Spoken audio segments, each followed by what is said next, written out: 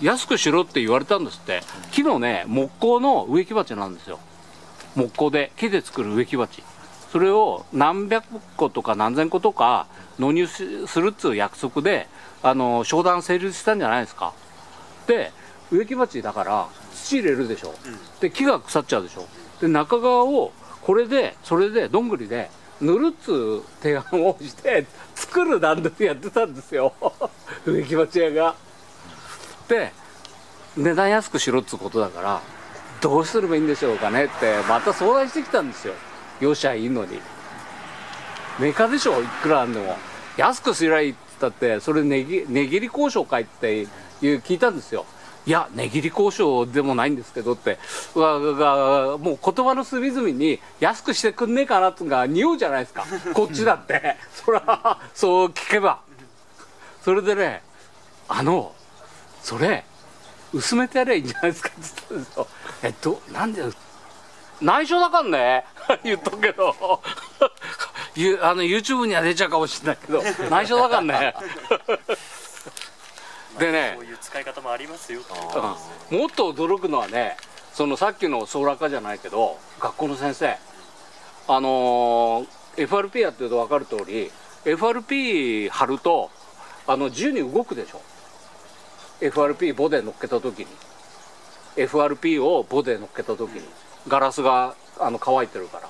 まあ当たり前だよね。す滑る。滑るでしょ、で自由に動くでしょ、でガラスクロス動かさないようにするんでどうしたらいいと思います、あのね車体の表面を雑巾で拭くん。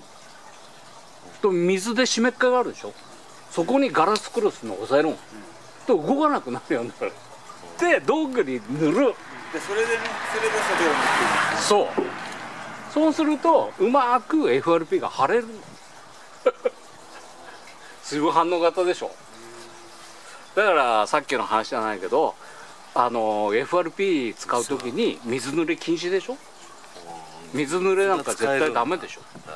だけどこれだと雑巾で拭いて水で少し湿らせてでガラスクロスをあの動かないようにあのラッピングしてやるとこれでソーラーカーのボディが腫れちゃう。えーって最初聞いた時は俺驚きましたよ。安倍さんどうやってクロス貼るか知ってる？え別にクロスを貼る貼る貼ればいいんじゃいいんじゃないですか？あのー発泡スチロールのソーラーカーのボディに。いや違うんだえだどうして？っつったら雑巾で拭くんだって。え雑巾で拭くんってきれいにするんですか？って言ったら違うよ。水道で絞って雑巾を。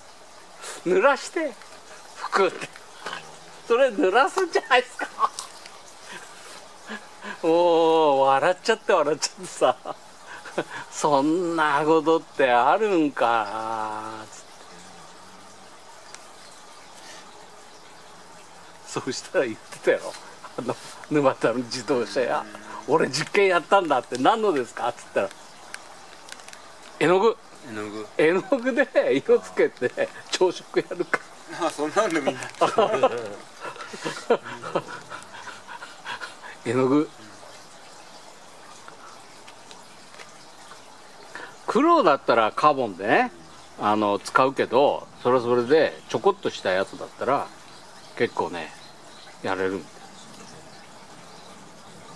だでそれはキャンディーカラーだキャンディーカラーだとか言って威張ってました。アメリカのったってグリーンカード取得してる若い時からなんか向こうで師匠誰なんだって日本人の師匠が言ったけど師匠はメキシコ人なんだ。あディズニーランドの近くにいた車やってるあもちろん沈んできました。沈んできました。社長あのこれこれで大体あの